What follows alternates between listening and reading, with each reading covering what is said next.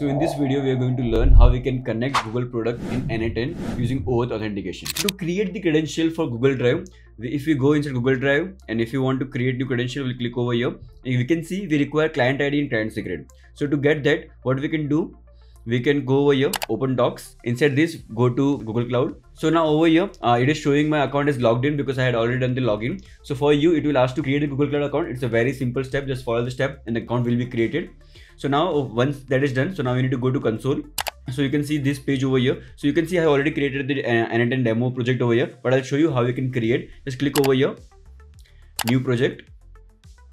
Just name the project then create. Now the project is been created. So once it is done uh, click on uh, select project. So now in the left hand side you can see that the, this project has been uh, selected. So this is how google operates. So it creates the project. Inside that project you will have all your apis over here. Okay? So now you can see api and services over here.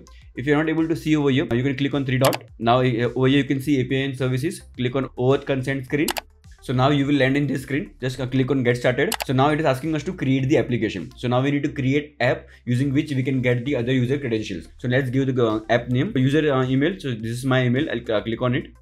Next. So now we need to select the audience. Inside the audience, we can see that we cannot select internal. Internal is only allowed when you have Google Workspace user over here.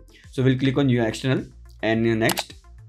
Now we need to have contact information. This email address is required if Google wants to send any kind of update. Okay, so we'll add um, my other email id next click on agree continue and create. So now our application has been created. So now we need to create our OAuth client. So if you remember we are requiring two things client id and client secret. So to create that thing uh, we need to click on this. Now we need to select the application type as web application name it could be anything. So over here we require authorized redirect url just come over here copy this then add uri paste it.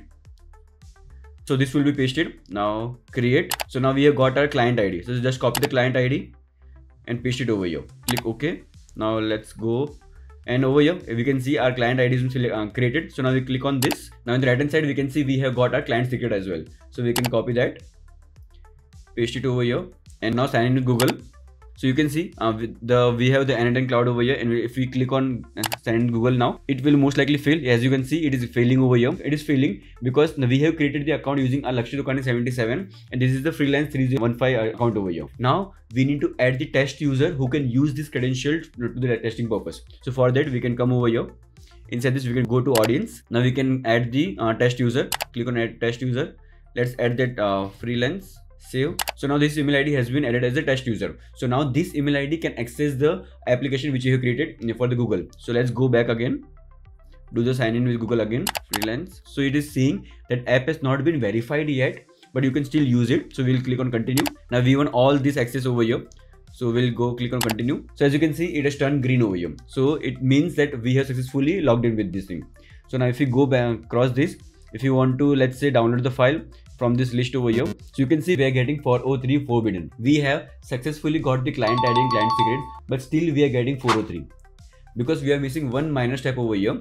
But for all the application, Google have their APIs. So we need to enable that API. We'll go to Google Cloud again. And over here, we can search for whichever application you want. So for, I, I want Google Drive. So I'll come over here and I'll enable this. So once it is enabled, we can go back again, just close it and come inside again and now if you try to search it we can see we are getting the data over here. So this is how you can create the credential for the google drive. And the same thing will happen for google docs. So inside google docs we can go and create new credential. We'll fill the same client id and client secret. And now uh, i'm not pasting right now. Let me close it. So once it is done you need to enable the google doc api so for that we'll come over here. Search for google docs.